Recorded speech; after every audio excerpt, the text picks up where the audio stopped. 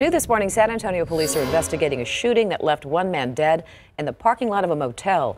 The call for shots fired came in just before midnight. This is in the 100 block of Kinley Place, which is on the north side. Our Alicia Barrera is staying on top of this story. So, do police have any leads on who the shooter may be, Alicia? Leslie, not at this hour. Police did, however, receive a report of one man running south from this location, and that's towards Brook Hollow Boulevard. Um, and where that man's body was found was just right behind me in the parking lot of Motel 6, right nearby that yellow ball, uh, box truck. And that call came around 11:45 Wednesday night.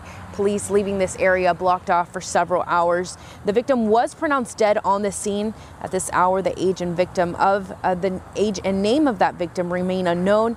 Um, but those calls for shots fired were reported to have been heard in the neighborhood located just behind the motel. Another call came in stating a man was lying on the ground in the parking lot on the motel's property.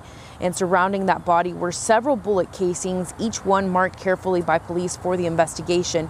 Investigators were also seen canvassing the surrounding areas, including some grassy fields. And this morning, police still looking to make an arrest um, involving this case to see what led up to it, and of course, if there is a suspect or several suspects involved in this deadly shooting.